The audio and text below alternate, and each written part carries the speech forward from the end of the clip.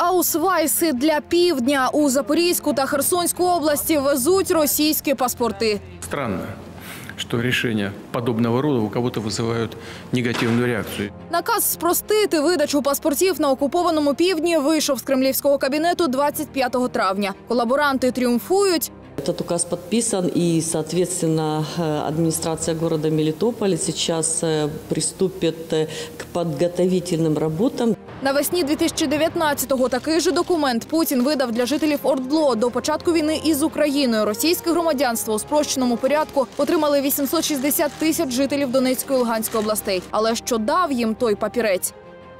Колющие, режущие, взрывчатых веществ. Диалогии с собой нет. Смотрите, особенно девушку проверять тщательно. Документи з тризубом міняють на орла у Ростовській області. Сюди охочих звозять автобусами. У більшості з них вже є місцевий паспорт квазіреспубліки. До наших событий всех военных э, достаточно активно передвигались за границей. И Европейский Союз, ну, теперь некоторое время пришлось посидеть, вот пять лет уже никуда не выезжают. Для мешканців ЛДНР це пропуск у російське майбутнє, право на освіту і лікування.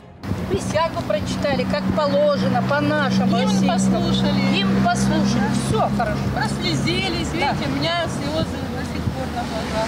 Однак тих, хто розраховував на російські пенсії чи соцвиплати, чекало розчарування. Графа з пропискою порожня, а без неї вони неповноцінні громадяни Росії.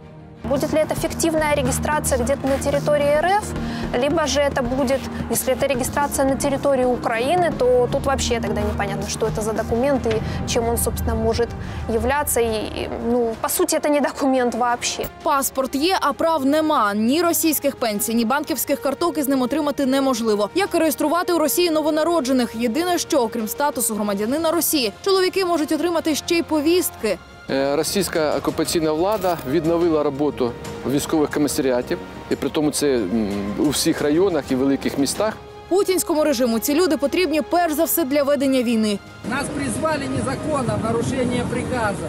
Кому видавати паспорти Кремлю байдуже, і на це погоджуються самі росіяни. Хоть пусть негритянки получают или негры, мне все равно, лишь бы не было войны. Офіційна окупація вже розпочалася в Маріуполі. Повідомляє радник міського голови.